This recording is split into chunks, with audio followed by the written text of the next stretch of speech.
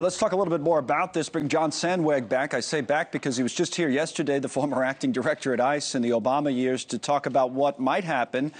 And then this headline crossed this afternoon. I have to tell you, John, I did a double take after what we, you and I had talked about and what we saw after the show. I wasn't sure what was happening, but now the pause is over. What was your reaction?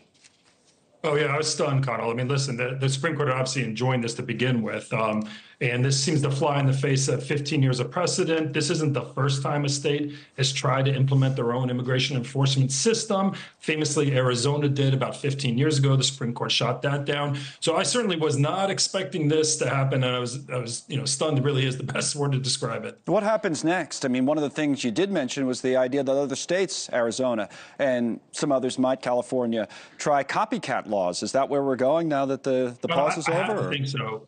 Yeah, Connell, I have to think so. Now that the Supreme Court has given a green light to it, I would be stunned if we don't see legislation introduced as soon as, you know, maybe today, maybe tomorrow.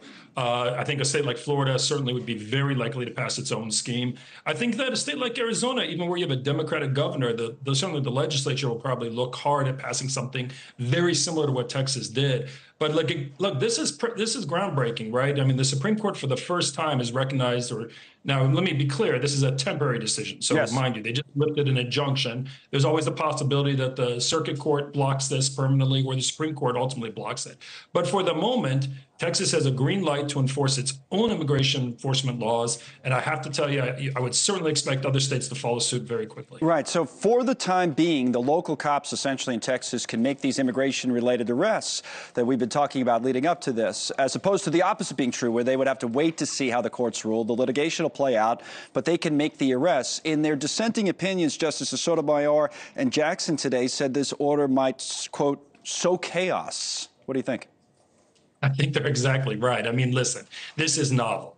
There's going to need to be systems worked out between the Border Patrol agents, DHS writ large, and the Texas state, you know, the various Texas law enforcement agencies that are now authorized to issue arrests. There are real questions here. Texas tried to mimic this, do this in a way that made it look just like federal law so that they could argue in court that there was no conflict and therefore that it was not unconstitutional.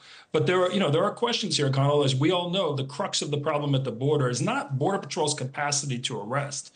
You know, certainly the numbers are overwhelming, but 99% of these people are being apprehended by the Border Patrol. The problem is they all claim asylum, and what do we do with it? I don't know how this is going to work when Texas arrests a, a, migrant who then makes an asylum claim, how Texas is going to honor their federal right to asylum. And then the big question is there's a deportation provision in this bill. Is Texas going to try to start deporting migrants? And, and remember, Connell, most of these migrants are not actually Mexican. They're from countries all over the world. Is Texas going to start trying to do repatriation flights to Honduras, El Salvador, you know, Haiti? So hmm. millions of questions here. But the key here on the ground is just to make sure that there's communication between the Border Patrol agents and the law enforcement agents. I worry that this tension right. might have limited some of that communication, but we need that deconfliction so that there's not, you know, everything goes smoothly. What would you say about that relationship and how tense it's become in in the last few months? Because you know, at the leadership level, at the political level, we know there's tension, and you know, it's on purpose. It's it's out there in the news all the time. What about in the ranks there for uh, Border Patrol versus the local authorities? Do you know anything about it?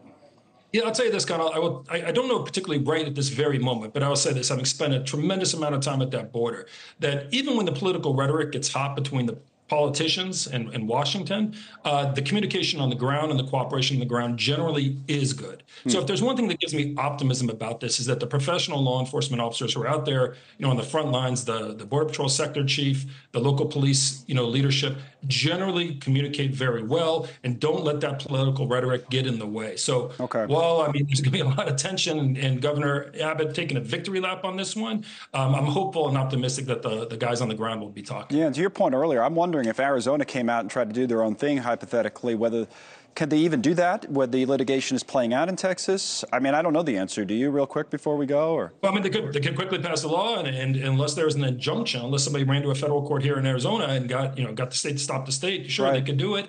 And uh, I'm not sure there would be an injunction out. The Supreme Court has let the Texas law go into effect. Right. Again, we're not saying that's going to happen. John was just speculating that's something that could happen. Um, again, John, thank you for hopping on with us today after joining us yesterday. Now that the news changed like it did, uh, John Sandweg with us today. Right. Thanks so much for watching. Just go to joinnn.com to find News Nation on your television provider. And don't forget to click the red subscribe button below to get more of News Nation's fact driven, unbiased coverage.